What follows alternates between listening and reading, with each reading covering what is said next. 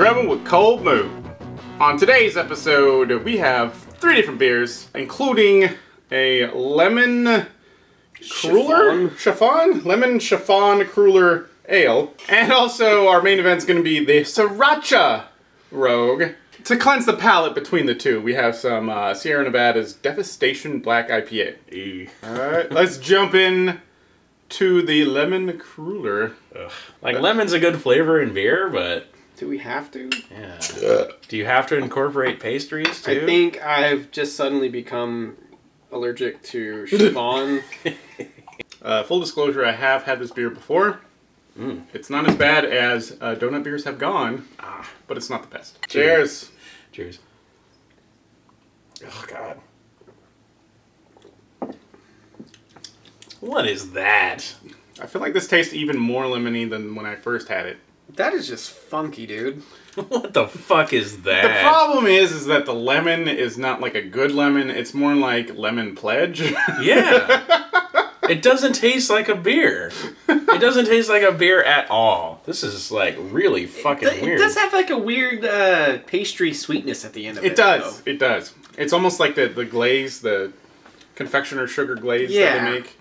It's the, right up front though. That is just like eating nothing but lemon rind. If I took a whole plate of like uh, lemon meringue pie, just just in its entirety, and I submersed it in dishwater, that's what this would taste like. It's like dishwater and a lemon pastry, and it there's very very very uh, slight hints of beer. I don't like that. like the beer is totally overwhelmed by everything. I feel like it, the, the flavor is almost. It would be better as like a, a liqueur. Like take out the beer flavor, make it more of a liqueur thing. That could do something. Oh yeah, that would. But would be- as a beer, it's not very pleasant. Uh, four and a half. I'm gonna give it about a three.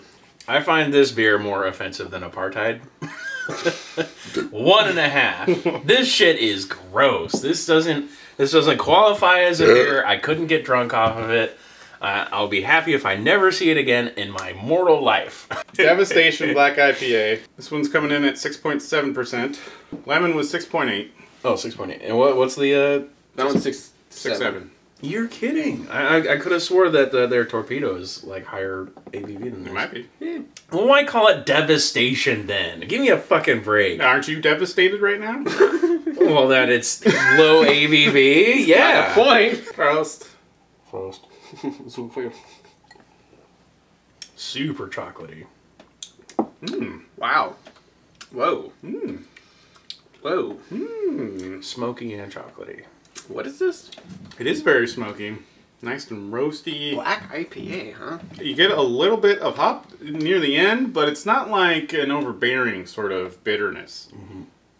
I actually think the level of bitterness from the roasting and the hop are sort of like on par with each other, so they don't really, you don't really get one more than the other. Mm. Yeah, I, I, I still get a little bit of a funk there at the end, but it's not terrible.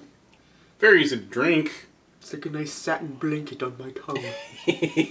I'm, I'm kind of digging this. Like, I wouldn't drink a bunch of it. I'd only have like a bottle, and then I move on to something else. But as it is, like, it's kind of nice. It has rich, dark flavors, but they're not so powerful. They're a little eh. understated. Eh. and, it, and it does provide for a smooth drinking experience. I want to say a seven, oh, maybe a six point nine. So I was, I was gonna give it a six.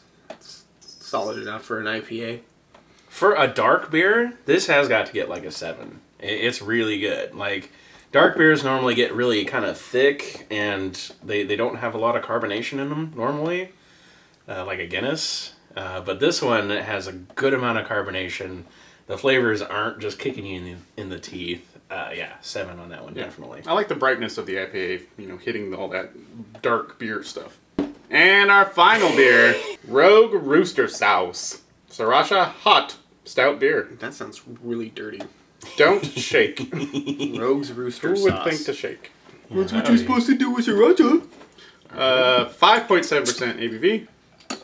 There's not even enough alcohol to fucking make you like this. Yeah, they don't want any of the alcohol, like overruling the flavor of all that delicious sriracha. One of the things that I love about sriracha is the fact that it's so garlicky, and I cannot imagine having garlic in my beer being a good thing. Oh, fuck, you know what this smells like? But This is like imitation crab salad. If there's like a pepper in it, a red pepper, it smells like red pepper and imitation crab salad. I'm not It's picking that one fucking grossing me out. I guess check it out. I guess I can. Yeah. it's actually not bad. No, I was expecting way worse. it's very stouty, and then like there's a follow up of spice. yeah. I'm not getting an overbearing amount of like saltiness or or uh, garlic or any of the stuff I expect to have in sriracha. It's Uh-huh. actually a lot. uh, Yeah, because the uh, what was the were they the arrogant bastard? Oh, you The- mean the crime and punishment? Yeah, like those, Those ones. are amazing. Like the one was good. The other one wasn't so good. Where this one was Yeah. kind of like a happy medium between the two. There's just a light hint of it.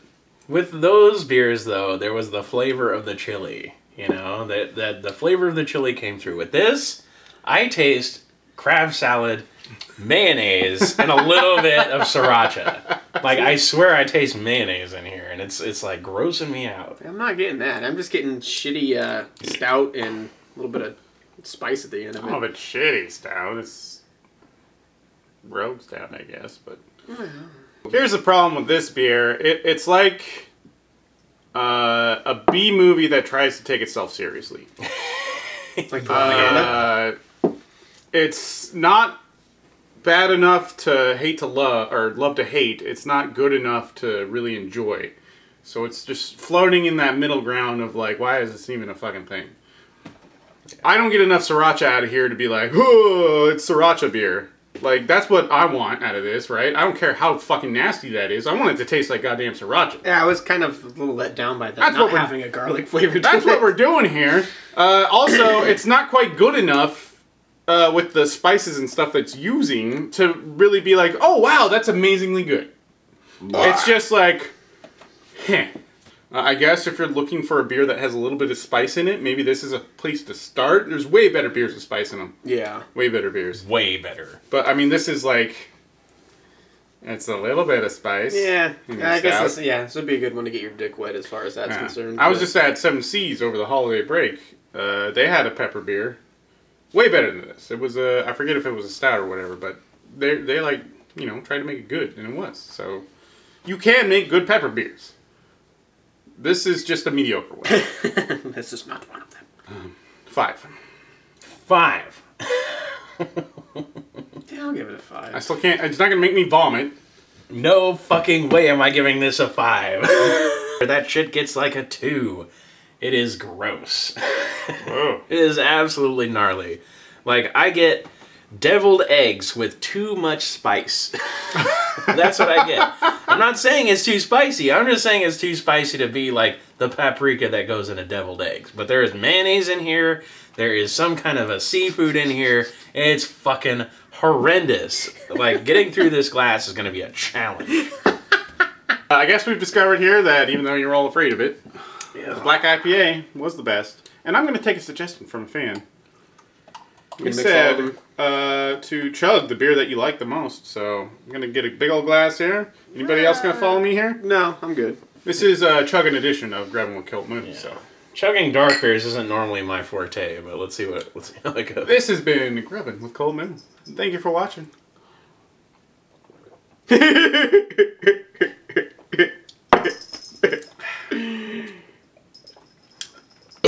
That's such a better beer than the other two. It's so much better.